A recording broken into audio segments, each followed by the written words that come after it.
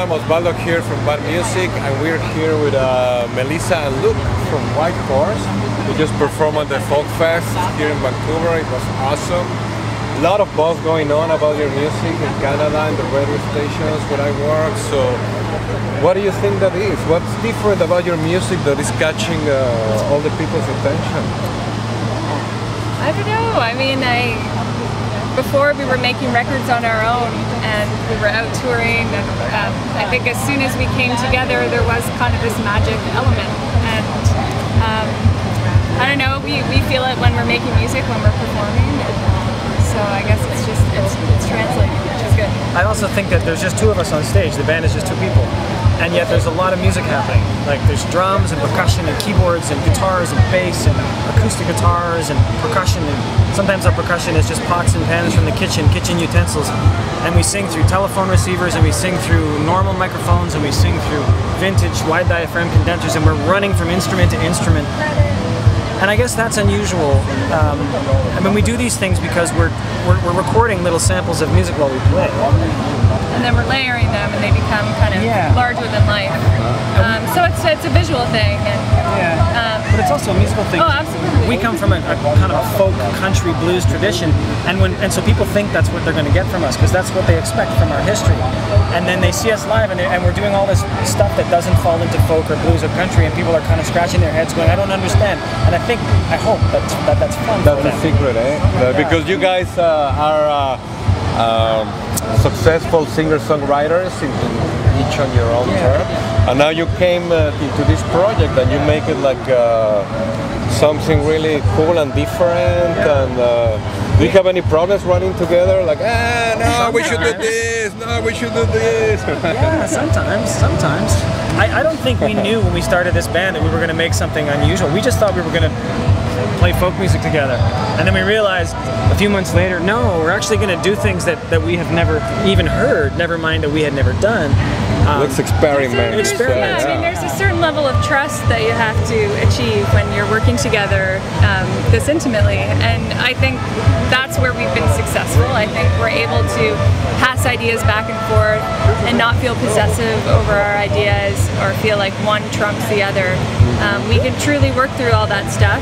Sometimes it is a struggle, but we always get we always get there, and we're always um, in a position where we're both happy with with the end result.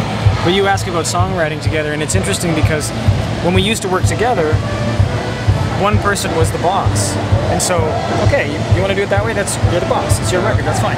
And now now there's no boss. boss. so we both have to say this is good. If she says this is great and I say, eh, I don't think so, then we have to either throw it away or fix it. Or do it on your own. Okay, I'll take yeah. this idea for my own. yeah, yeah. But you guys still playing uh, like solo or no, no not anymore? Eh? No, Just so much. The, the, the, the band.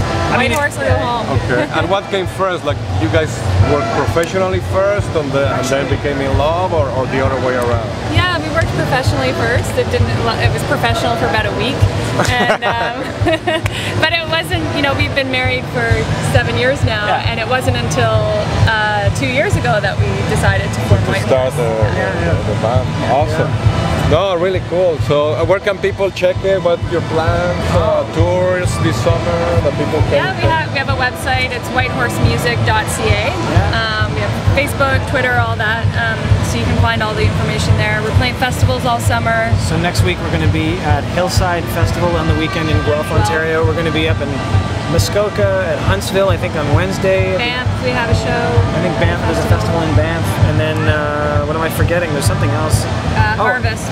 Harvest Picnic at the, uh, I think it's August 31st. Yeah. And that's in Hamilton, Ontario. Actually, it's in Dundas. Okay. That, Neil that's Young, where you're based, Neil Young and Crazy Horse. well, Neil Young and Crazy Horse. We're actually based in Toronto, but, but the, Toronto. we made okay. our records in Hamilton. We, we, okay. we, were living in Hamilton when we started the band. So. Okay. Steeltown, exactly. Steeltown. exactly. Cool. One way streets in Steeltown. Yeah. That's right, Hamilton, right? That's true, yeah. And where did you get the name from? Like, what's the name? What, well, what we, does we, it mean? we wanted to, we actually named ourselves after the city of Whitehorse in the Yukon. Yukon, yeah. That's Because- what I thought. Yeah. Yeah, we, we actually wanted, we wanted, You like that city or what? I like the We city. do love that city. But it's yeah. mostly it's mostly that we wanted the name of this band to reflect something Canadian, and we and I like geography and we tour all the time. So we thought, what if we used to, you know, what if we took a Canadian city, and Winnipeg doesn't make a good name for a band. Hamilton, Hamilton. That's a And Whitehorse supports a lot of music, don't they? Like, there's Oh, yeah. a lot of big music, a lot of bands going down to play. Yeah, and, and we were, you know, we they brought us up to play some festivals. It's a beautiful, mysterious part of Canada. That's Yeah, remote. yeah. And a lot of Canadians have never been up there. And it was, we like the idea that, that the, the mystery uh, and the beauty that is evocative of the thought of the city of Whitehorse was also hopefully what our music would be evocative of. I don't know if that's true. And it sounds cool. And it's, mostly it just sounds cool. Who doesn't like a whitehorse? It's like a unicorn. Everybody likes those. Yeah, don't they? yeah, No? yeah, yeah, yeah, exactly. Maybe they don't. Cool. No, thanks guys for the interview. Yeah, man. Uh, Pleasure. yeah, amazing. Thank you. Guys, check them out. Thank you. Thank you. Excellent.